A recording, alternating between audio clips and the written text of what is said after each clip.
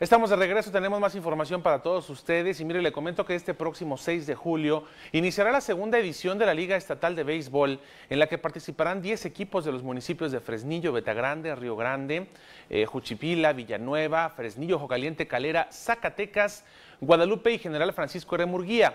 Los participantes de estos equipos, destacó Alfonso, Adolfo Márquez Vera, director del Instituto de Cultura Física y del Deporte, son jóvenes deportistas detectados a través del programa de desarrollo de ligas del talento implementado durante el 2017 en 24 municipios del estado y a través del cual se les ha dado seguimiento y entrenamiento profesional a estos jóvenes deportistas enfocados a diversas disciplinas deportivas.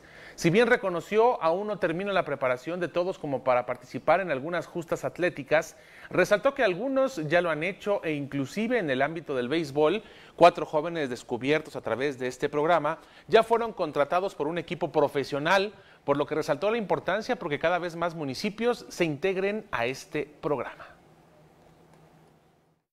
que tenemos que respetar en todo momento la ley y por eso pedimos a los municipios cada vez que llegamos con una liga el aval de los mismos. Pero también llegamos con la oferta de que el instituto apoya en todos los sentidos.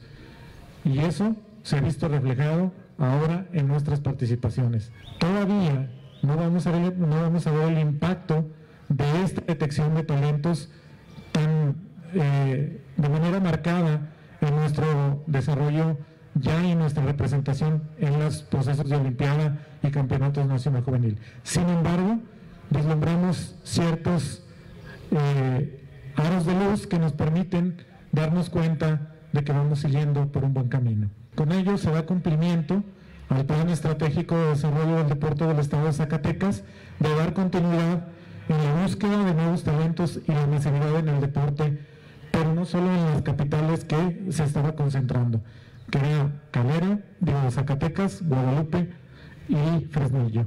Ahora estamos incidiendo en 24 municipios.